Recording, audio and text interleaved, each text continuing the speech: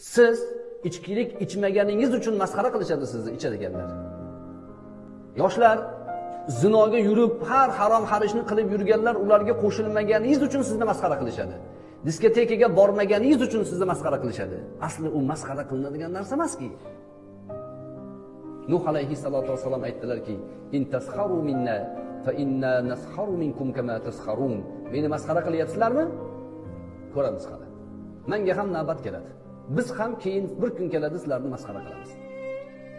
Bu nuh alayhissalotu vassalom masxaraboz emas o'zi bir odam masxara qilsa unga nisbatan bu javobni berish payg'ambarlarning sunnati ekan. Ba'zi odamlar aytadi ba'zilarga keskin gapirib qo'yamizda. Nimaga san keskin gapiraverasan deydi. Nima ishing bor?